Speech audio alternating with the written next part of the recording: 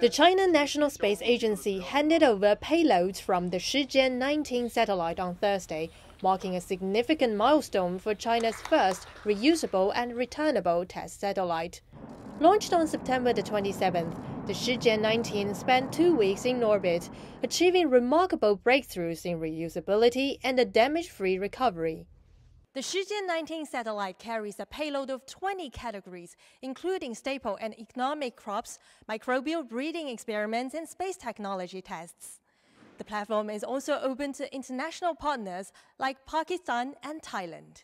This time is the first time that Thailand has uh, bioscience research in space. Chinese uh, space agency, they actually the only place that have uh, returnable, reusable satellite. So we can send the seed to germinate in space, right, and then return on Earth, and then so we can have the plant material for future analysis.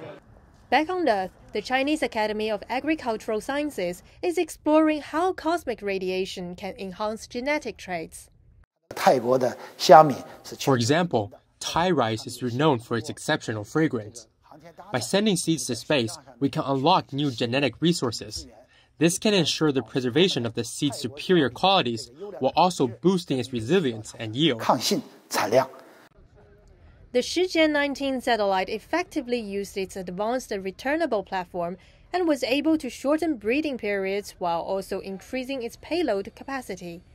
It completed nearly a thousand space breeding experiments, seeking cosmic solutions for global food security issues and sustainable agriculture. 外红家 CGTN 北京。